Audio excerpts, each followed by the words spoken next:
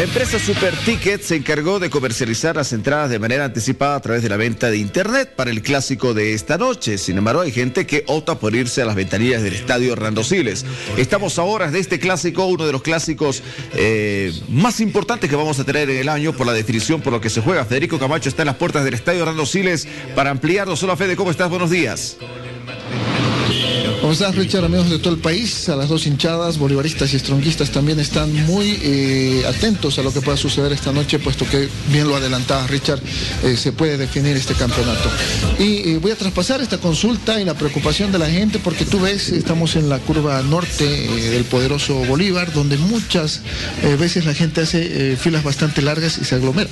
Hoy vemos un tanto vacío esto, justamente a lo que tú adelantabas, las entradas que se han vendido por online, me voy a acercar a algunas personas que eh, tienen esta preocupación porque eh, aparentemente todas estas se han vendido eh, por internet. señor, muy buenos días, desde muy temprano esperando ya adquirir su entrada. Sin embargo, usted ve esto algo vacío a comparación de, otras, de otros partidos. Sí, muy buenos días.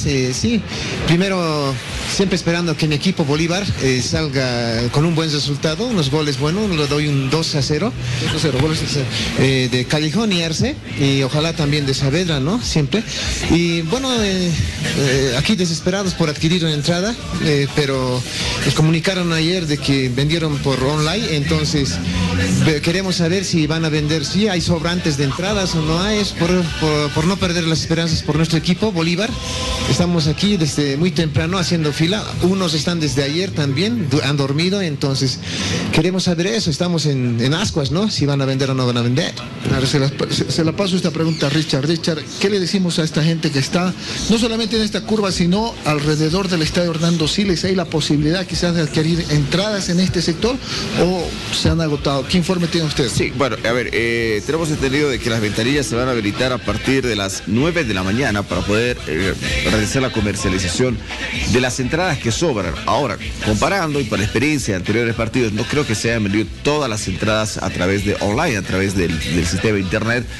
Eh, sin embargo, seguramente ya vamos a tener información en los siguientes minutos, el detalle con la dirigencia de Stroger para ver cuántas entradas todavía quedan para poder comercializar y en qué sectores, ¿no?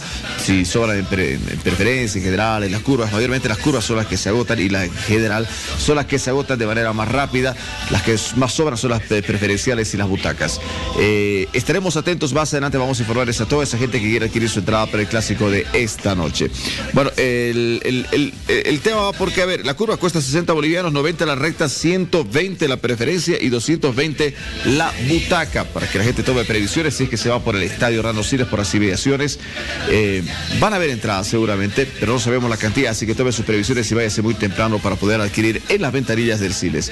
Fede, el ambiente del clásico esta noche que se juega a las 20 horas con 30 minutos. Bien, ahí está, ahí veíamos justamente la gente, el público, esta es la curva del, Bolívar, eh, del cual Federico Camacho es hincha además, ¿no? Eh, y en la curva sur seguramente tendremos el mismo panorama más adelante para la gente que quiera adquirir sus localidades. Un partido decisivo. El de esta noche, el clásico nacional. Todos los detalles más adelante junto a otros resultados de la nueva fecha del fútbol boliviano acá en la cancha de Bolivisión.